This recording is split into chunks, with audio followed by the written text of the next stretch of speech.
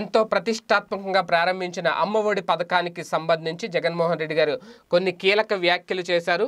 అమ్మఒడి పథకం ద్వారా ప్రతి తల్లి అకౌంట్లో పదిహేను వేల రూపాయలను జమ చేశారు. అయితే ఈ సందర్భంలో చాలామందికి పలు అనుమానాలు ఉన్నాయి. ఎందుకంటే ఇప్పటికే గతంలో రైతులకు సంబంధించి రుణాల టైంలో పడిన అమౌంట్ ఏదైతే ఉందో బ్యాంక్ ఖాతాలో పడినప్పుడు వాళ్ళు చేసిన పాత లోన్లకు సంబంధించి పాత బాకీలకు సంబంధించి పాత అప్పులకు సంబంధించి ప్రభుత్వం తరపున పడే ప్రతి రూపాయిని ఏదో రకంగా బ్యాంకులో క్యాష్ చేసుకోవాలని చూస్తున్న పరిస్థితి గతంలో మనం చూసాం.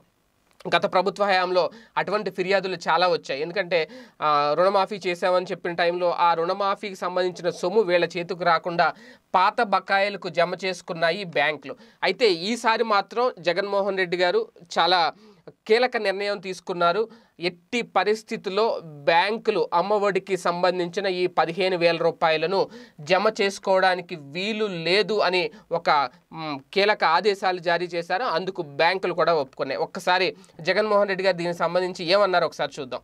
ఆ తల్లులకు గతంలో ఏదైనా బ్యాంకులతో అప్పులుంటే ఆ బ్యాంకుల వాళ్ళు ఇచ్చే ఈ సొమ్మును ఆ అక్క చెల్లెమ్మల పాత అప్పులకు ఇది సరి చేసుకోకుండా ఉండేందుకు బ్యాంకర్లతో కూడా మాట్లాడడం జరిగింది.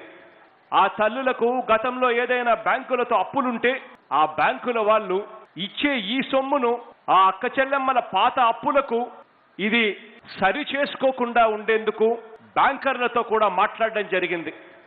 చూసారుగా జగన్మోహన్ రెడ్డి గారు ఒక అద్భుత నిర్ణయం తీసుకున్నారని చెప్పాలి. ఎందుకంటే ఆ పదిహేను వేల రూపాయలు పూర్తిగా ఆ తల్లులకు అందజేయాలి పిల్లల విద్యకు వాళ్ళకి దోహదపడాలి బ్యాంకులు పాత రుణాల పేరుతో పాత బకాయిల పేరుతో జమ చేసుకుంటే ఓ ఒప్పుకునేది లేదు అని ముందే బ్యాంకులతో మాట్లాడడం ఆ దిశగా నిర్ణయాలు తీసుకోవడం నిజంగా ఇది ఒక అద్భుతమైన చెప్పాలి. ప్రతి తల్లి ఇది స్వాగతించే అంశమే. గత ప్రభుత్వం కూడా ఇలాంటి నిర్ణయాలు తీసుకుంటే అప్పుడు రైతులు చాలా బాగుపడేవారేమో. సో ఇది ఈ ఒక్క పథకంలోనే కాకుండా ప్రతి ప్రభుత్వ పథకం పథకానికి సంబంధించి ప్రభుత్వం అందించే రు- రుణాలు కానీ లేదంటే ప్రభుత్వం ఇచ్చే డబ్బులు ఏవైతే ఉంటాయో అవి ఆ పథకానికి సంబంధించే ఉపయోగించుకునేందుకు వీలుగా బ్యాంకులు జమ చేసుకునేందుకు వీలు లేకుండా జగన్ సర్కార్ నిర్ణయం తీసుకుంటే బాగుంటుంది అనేది పలువురు అభిప్రాయం. అమ్మఒడి పథకంలో మాత్రం ఖచ్చితంగా ఈ పదిహేను వేల రూపాయలు ఆ, తల్లి అకౌంట్లో పడుతుంది కాబట్టి వాళ్ళు ఆ విద్యార్థి భవిష్యత్తుకు ఉపయోగించుకోవాలి.